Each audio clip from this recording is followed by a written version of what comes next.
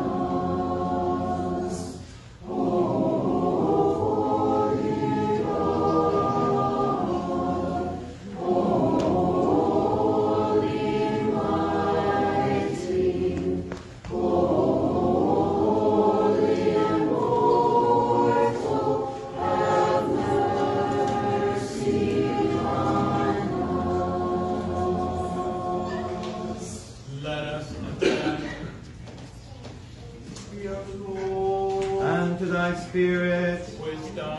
The Prokimenon and the seventh tone, the Lord shall give strength to his people, the Lord shall bless his people with peace.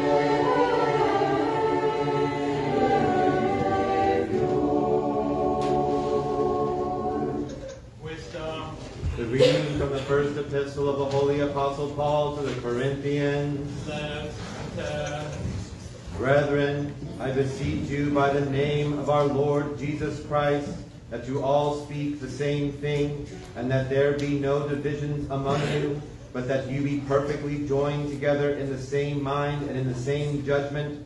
For it has been declared unto me concerning you, my brethren, that those of Chloe's household, that there are contentions among you. Now this I say, that each of you says, I am of Paul, or I am of Apollos, or I am of Cephas, or I am of Christ. Is Christ divided? Was Paul crucified for you? Or were you baptized in the name of Paul? I thank God that I baptized none of you but Crispus and Gaius, lest any should say that I had baptized in my own name. Yes, I also baptized the household of Stephanas. Besides, I know not whether I baptized any other, for Christ did not send me to baptize, but to preach the gospel, not with wisdom of words, lest the cross of Christ should be made of no effect. For the message of the cross is foolishness to them that perish, but unto us who are being saved it is the power of God. And to thy spirit, Wisdom. in the seventh tone, Alleluia, Alleluia, Alleluia. It is good to give thanks to the Lord, to sing praises to thy name, O Most High. To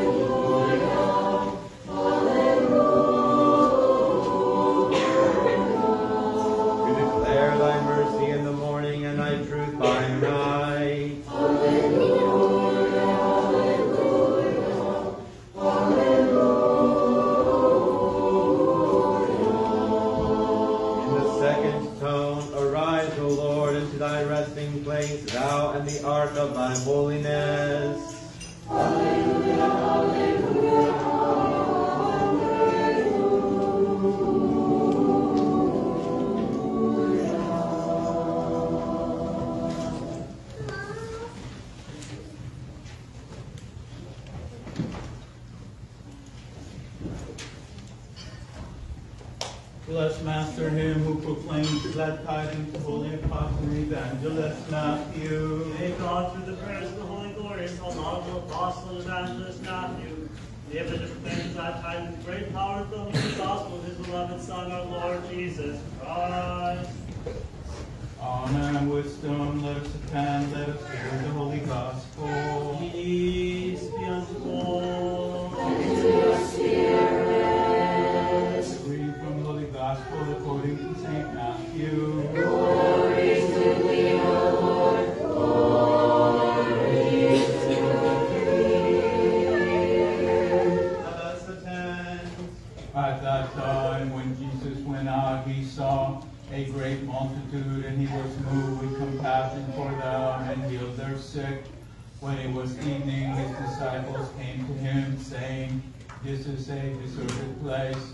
the hour is already late. Send the multitudes away, that they may go into the villages and buy themselves food. But Jesus said to them, They do not need to go away. You give them something to eat. And they said to him, We have here only five loaves and two fishes. He said, Bring them here to me. Then he commanded the multitudes to sit down on the grass. And he took the five loaves and the two fish, And looking up to heaven, he blessed and broke and gave the loaves to the disciples, and the disciples gave to the multitudes. So they all ate and were filled, and they took up twelve baskets full of the fragments that remained. Now those who had eaten were about five thousand men, besides women and children. Immediately Jesus made his disciples get into the boat and go before him to the other side, while he sent the multitudes away. In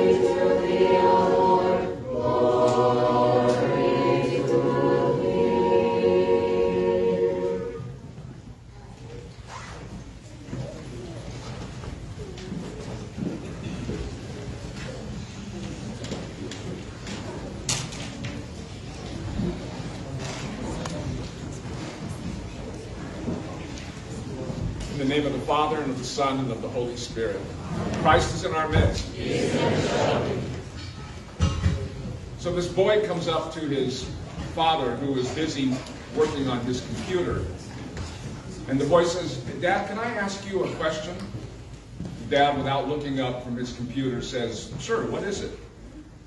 The boy says, Well, the Bible says that God created the world in six days.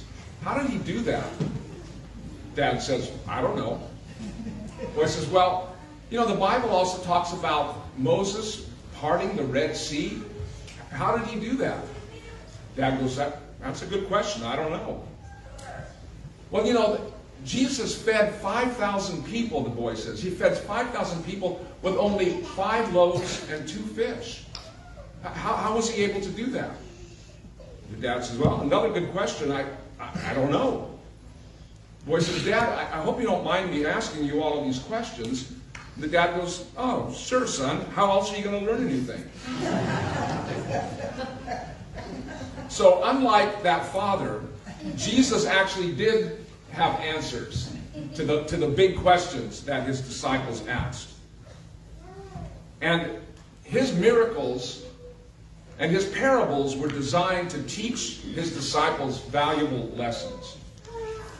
And that brings us to the gospel reading this morning the feeding of the 5,000.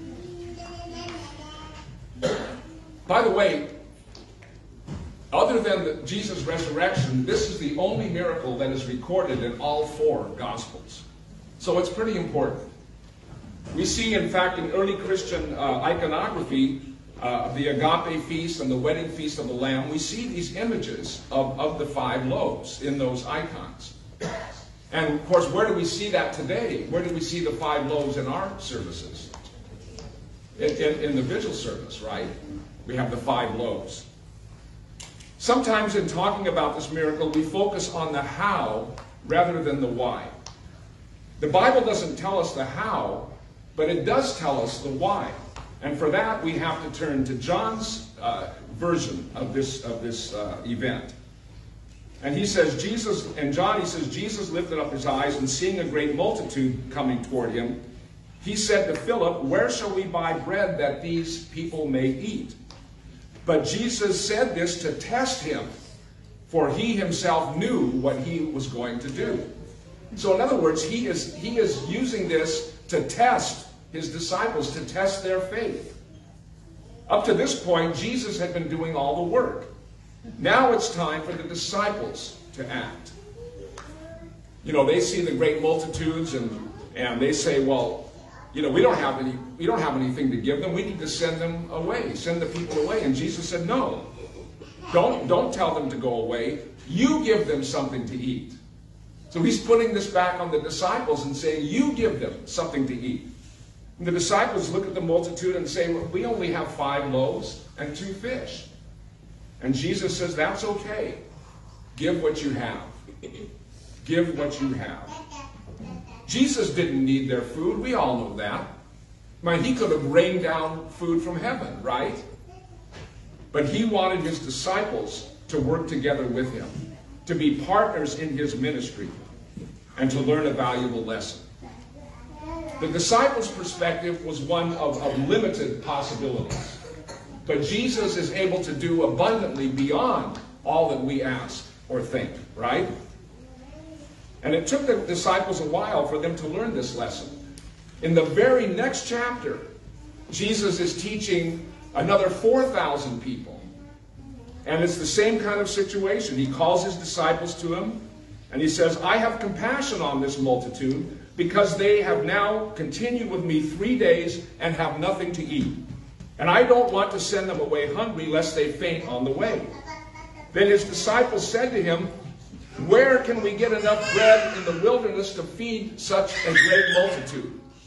And Jesus said to them, How many, how many loaves do you have? And they said, Seven and a few little fish. Now remember, they had just seen Jesus feed 5,000 with five loaves and two fish, probably more like 12,000 if you count women and children. And now they have seven loaves and a few fish. So they should be thinking, well, this should be this should be no problem. We only have 4,000 people now, right? But they were they still seem to be perplexed about what to do. Now, brothers and sisters, lest we be too hard on the disciples. How long does it take us sometimes to learn the lessons that God wants to teach us?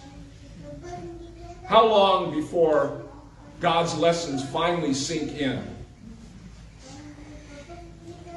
You know, I was thinking, remember back when we were first starting to talk about building our new temple and, and, and trying to raise, you know, we were talking about raising money to build the new temple. And the goal seemed insurmountable. I mean, it was so much money. How, how are we ever going to be able to raise that much money?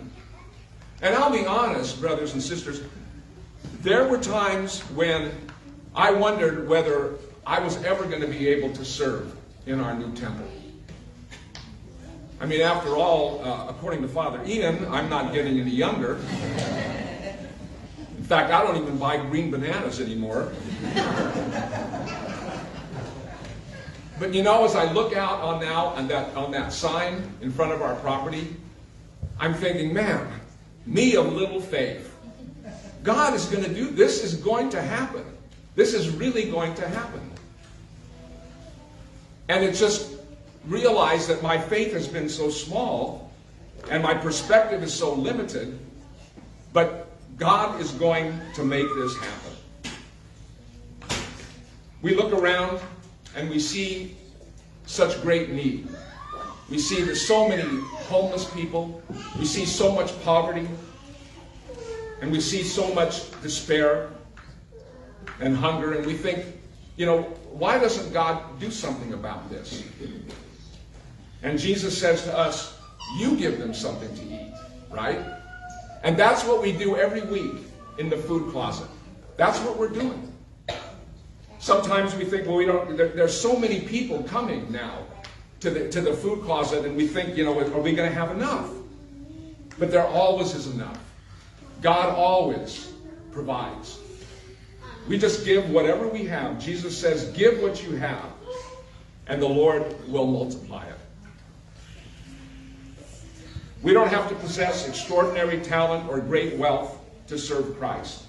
We serve Him with what we have. Because in Jesus' hands, a little goes a long way. In Jesus' hands, five loaves and two fish will feed a multitude. Jesus had compassion on people. He came to meet human need. There's that prayer in the liturgy that says, O God, who did send forth the heavenly bread, the food of the whole world, our Lord and God and Savior Jesus Christ to be our Savior, Redeemer, and Benefactor. God's love is sufficient for all human need, and He has chosen to use us. He takes what little faith that we have, what few resources we have, and He multiplies them in miraculous ways. Remember the widow of Zarephath uh, 3 Kings? You all remember the widow of Zarephath. You've been reading your Old Testament, right? So the widow of Zarephath Elijah the prophet came to, God sent Elijah to come to this widow to, to get something to eat, to ask her for something to eat. It was, and it was during a famine. And the widow was not wealthy. She, he had only a handful of grain and a little oil. This is all coming back to you now, right? And she said, uh, you know, all she had was just this little bit of grain and oil, and she was going to make something for, for her and her son to eat before they died. And Elijah says, No, first you make me a little cake, and then you make something for your, yourself and, and your son. And he says, For thus says the Lord, the bin of flour shall not be used up, and the jar of oil shall not run dry until the day the Lord sends rain upon the earth. So the woman went and did it. Thus she and her children ate for many days. You see, she didn't say, I have too little for God to use me. She was obedient. She simply did what God had, what, the, what she was asked to do. It's not about how much or how little we have. It's about being obedient in what God has given. Jesus will multiply whatever we bring him to meet the needs of others, for he is good and loves mankind. Christ is in our midst.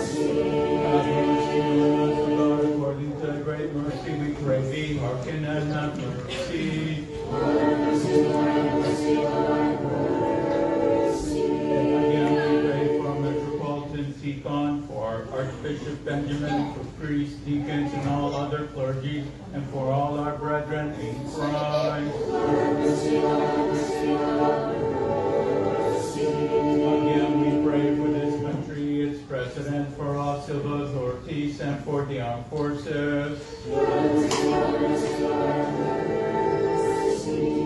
Again, we pray for the blessed and ever memorable Holy Orthodox Patriarchs and for the blessed and ever memorable founders of this holy church, and for all our fathers and brethren, the Orthodox departed this life before us.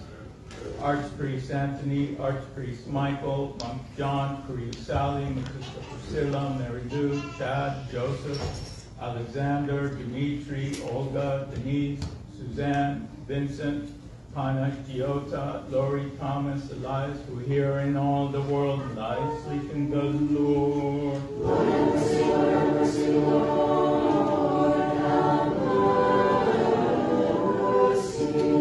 Again, we pray for mercy, life, peace, health, salvation, visitation for the servants of God.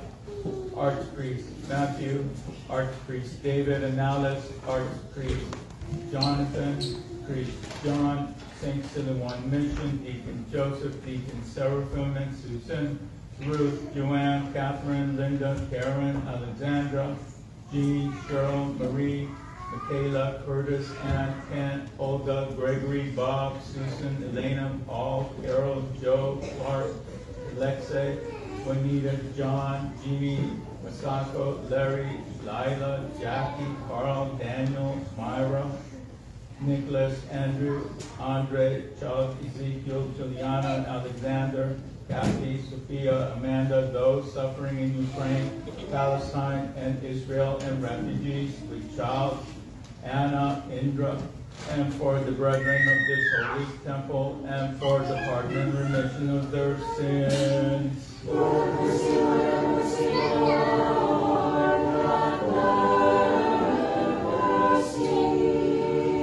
we pray for those who bring offerings and do good works in this holy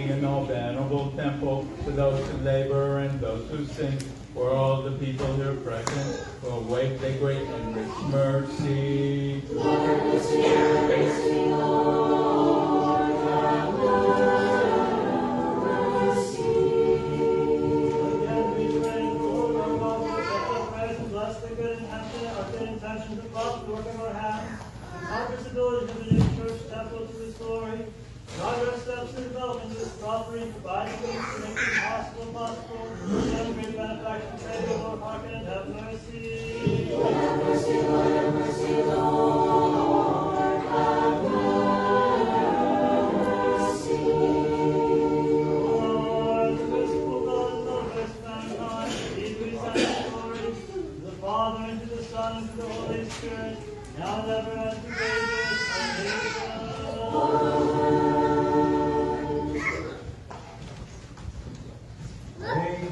Let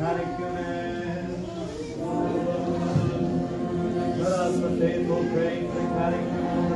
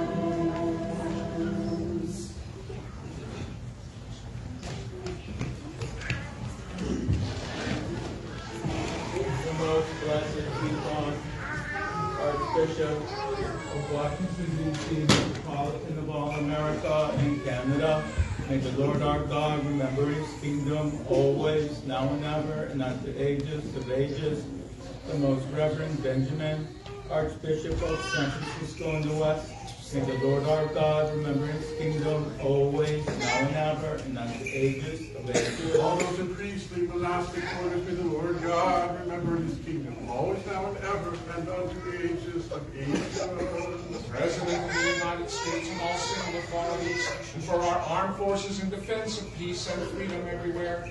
May the Lord our God remember them in his heavenly kingdom, always, now, and ever, and unto ages of ages. founders and benefactors.